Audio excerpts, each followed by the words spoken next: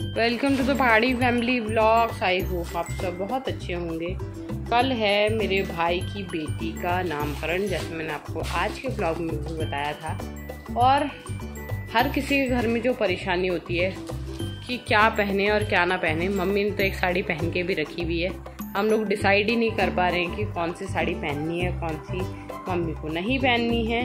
बहुत सारे कपड़े हम लोगों ने खोल दिए हैं, जो उन्होंने पहनी हुई है, वो हमें पसंद नहीं आ रही है। अब हम लोग सोच रहे हैं, मम्मी खुद खड़े होकर सोच रही है कि क्या पहनूं। तो ऐसे ही चल रहा है सब। अब पहले तो मम्मी का डिसाइड होगा, उसके बाद फिर मैं डिसाइड करूँगी कि मुझे क्या पहनना है। और इतना जितना आप यहाँ देख रहे हो फैला हुआ उतना ही फैला हुआ मेरे कमरे में भी होगा थोड़ी देर बाद। हम लोगों ने सारी अलमारी वगैरह सब खोल दिए। अब देखो क्या होता है। फ़िलहाल के लिए हमने बच्चों के कपड़े पैक कर दिए हैं। हम लोगों के वहाँ दो बच्चे मिलेंगे। मेरी बहन के बेटी और मेरे भाई की बेटी दो के ड्रेसेस पैक कर दी हैं। और फ़िलहाल मम्मी के लिए हम लोग डिसाइड कर रहे हैं। उसके बाद मैं आपको कल सुबह दिखाऊँगी कि हम लोग क्या पहन के जाने वाले हैं, क्योंकि रात भर आज यही चलने वाला है। नेक्स्ट डे की शुरुआत हो चुकी है। काफ़ी देर से हम लोग तैयार होकर बैठे हुए थे। लेकिन ये बारिश है कि चार बजे शुरू हुई थी और अब पौने एक बजे का टाइम होने वाला है। बारिश रुकने का नाम नहीं ले रही है, लेकिन हमें घर से अब निकलना है। क्योंकि ताई जी के जो घर है, वो हम लोगों के घर से सबसे पास है। तो हमें तो प्रोग्राम में जाना बनता ही है। इसीलिए हम लोग अब तैयार हो गए हैं, बरसाती डाल रहे हैं। और इसके बाद हम लोग निकल जाएँगे यहाँ से। मम्मी भी तैयार हो गई है। मम्मी के लिए जो ड्रेस तैयार की गई थी, मम्मी ने वो पहनी भी नहीं। सबका बहुत मूड ऑफ़ है, लेकिन अब हम लोगों को निकलना है तो मैं तैयारी पूरी कर चुकी हूँ। मम्मी को भी तैयार कर रही हूँ, बरसाती पहनाऊँगी, उसके बाद आपको लास्ट में दिखाती हूँ हम लोग बरसाती पहन के कैसे दिखते हैं। उसके बाद हम लोग निकल जाएँगे, फिर आपको सीधे वहीं मिलेंगे, जहाँ पर नामकरण हो रहा है ताई जी के घर पर इसका मेकअप करने का क्या फ़ायदा हुआ? कल रात हम लोगों ने काफ़ी समय लगा के पूरी तैयारियाँ की, कपड़े प्रेस करके रखे, सारी चीज़ें तैयारी करके रखी। लेकिन सुबह चार बजे से और जब हमने देखा साढ़े ग्यारह बजे तक बारिश नहीं रुकी है तो मम्मी ने अपनी दूसरी साड़ी निकाली और मैंने जो कपड़े अपने रात में प्रेस किए हुए थे वही पहने और मम्मी की जो साड़ी थी हम लोगों ने दोबारा सुबह प्रेस की नई साड़ी और फिर मम्मी ने ये वाली साड़ी है ब्लू पहनी है और अब हम लोग बरसाती पहन लिए दोनों माँ बेटियों ने और अब हम निकल रहे हैं क्योंकि हम लोग बहुत ज़्यादा लेट हो चुके हैं। दूर दूर के जो मेहमान होंगे वो तक पहुँच गए होंगे। तो आपको मिलते हैं सीधे ताई जी के घर पर।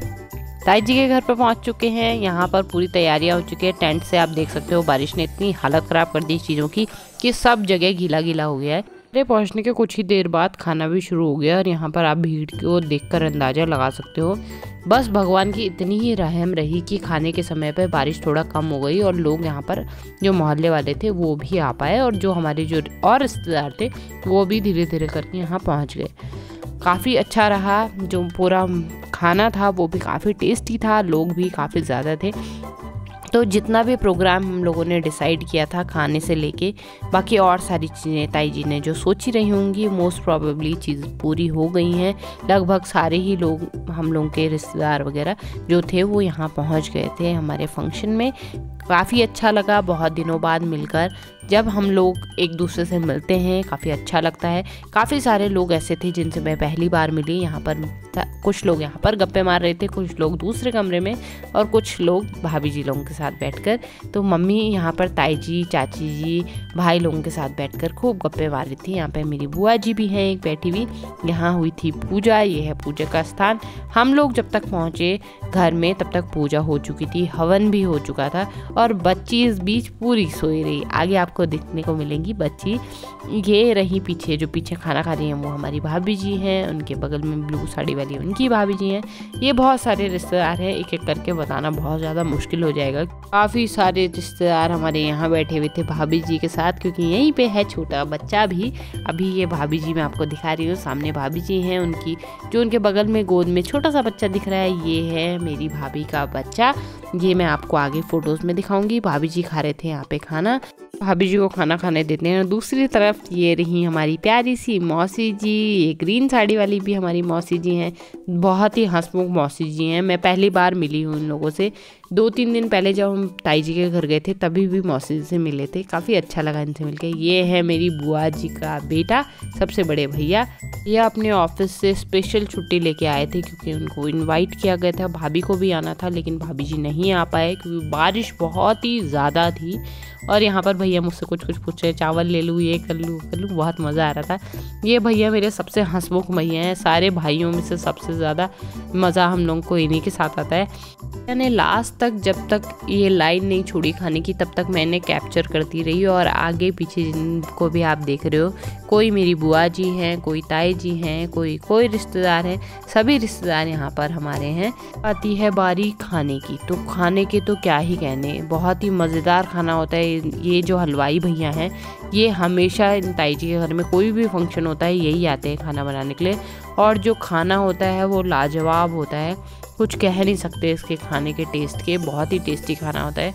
एक बार लेने के बाद ज़रूरी है कि बंदा दोबारा लेगा ही लेगा, क्योंकि खाने का टेस्ट मज़े ही आ जाते हैं। भैया मुझे दिखा दिखा के अपनी प्लेट को भर रहे थे। और साथ ही में भैया ने ये भी बोला है कि इस वीडियो को मेरी बीवी तक पहुँचा देना, जिससे तेरी भाभी देख ले कि मैंने यहाँ खाना खा लिया है। तो ये भाभी जी के लिए स्पेशल मैसेज है कि भैया ने भरपेट खाना खाया है। बारी आती है मेरी सबसे बड़ी ताई जी की। ये हमारी सबसे बड़ी ताई जी हैं जिन्होंने बैग को टांगा हुआ है कंधे पे और भैया ने भी अपनी प्लेट पूरी भर दी है। अब भैया को खाना खाने देते हैं और हम चलते हैं अंदर मौसी जी की गोद में है ये छोटी सी मेरी बहन की बेटी। बहुत ही क्यूट है ये। अभी अभी सो के उठी है। फिर मैंने इसे उठाया अपनी मौसी की परी। बहुत ही प्यारी सी। मैं आपको मिलाती हूँ अपनी भाभी जी से और उनकी बेटी से जो है बुआ की परी। चलिए बिना देरी करते हुए अब चलते हैं खाने की तरफ़ और यहाँ पर बैठी है पूरी जनता। ताई जी, चाची जी सब। चाची जी शर्मा रही है। और चाची जी को मैं यहाँ पे कह रही हूँ, सबको पता चलना चाहिए आप लोगों ने कितना कितना खाना खाया है। अब मेरी सीट पे मेरी थाली रखी है और यहाँ पर है मेरी दोनों प्यारी प्यारी भाभी जी, के सब इतने ज़्यादा बिज़ी थे कि फ़ोटो ही नहीं ली गई। हम लोग आ गए हैं नामकरण से वापस। चार बजे अराउंड हम लोग नामकरण से वापस आ गए थे। बारिश ने आज पूरे प्रोग्राम का मज़ा किरकिरा कर दिया।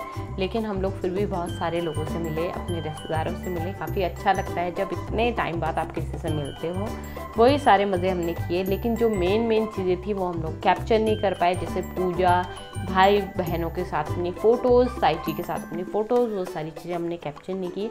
लेकिन ऐसे ही आगे और भी मौके मिलेंगे हम लोगों को कैप्चर करने के लिए। फिर हम आपको आगे दिखाएँगे, अपने और रिश्तेदारों को और सबसे मिलाएँगे भी। फ़िलहाल आज के ब्लॉग की एंडिंग में यहीं पे करूँगी। अगर आपको मेरा ये ब्लॉग पसंद आया है तो प्लीज़ लाइक शेयर सब्सक्राइब करना ना भूलें। साथ ही में बेल आइकन दी हुई है उसे प्रेस करें, जिससे सबसे पहले नोटिफिकेशन आपको मिल सके और आप मेरे ऐसे ही सारे ब्लॉग्स को एंजॉय कर सकें। आज के ब्लॉग में बस इतना ही। कल फिर मिलते हैं एक नए ब्लॉग के साथ। तब तक के लिए स्वस्थ रहें, मस्त रहें, प्यार बांटते रहें।